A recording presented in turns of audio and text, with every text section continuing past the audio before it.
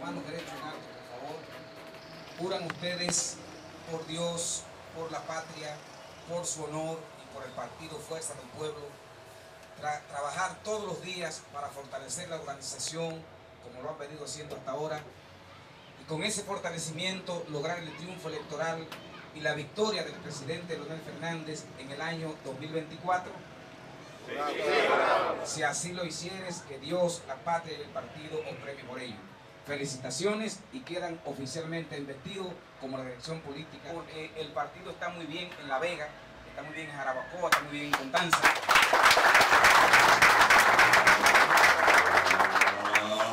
Si ustedes miran a su alrededor, ¿qué es lo que ustedes ven? Miren, esa pared que está ahí es verde, esas matas son verdes, esta mata es verde, todo esto es verde. La Vega está verdecita. Por tanto, ustedes tienen que mostrar sus aspiraciones. Y yo sé que aunque no lo digan, cada uno de ustedes tiene alguna aspiración individual y personal.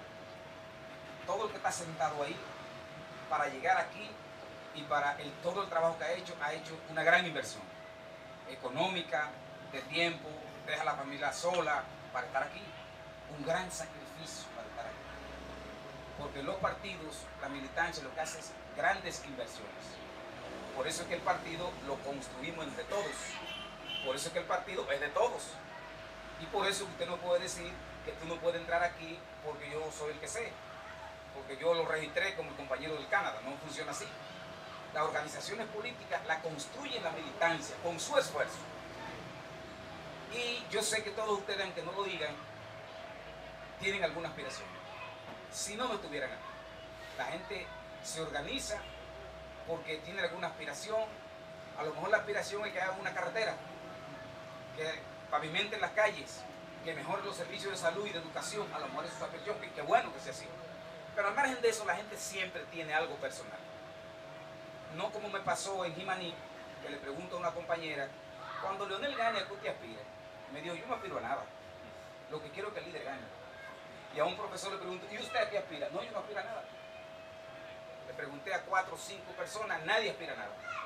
Digo, miren, en San Juan todo el mundo aspira a todo. Cuando Leonel gane, como ustedes no aspiran a nada, el gobernador de la provincia Independencia lo voy a traer de San Juan. Y el director de salud lo traigo de San Juan.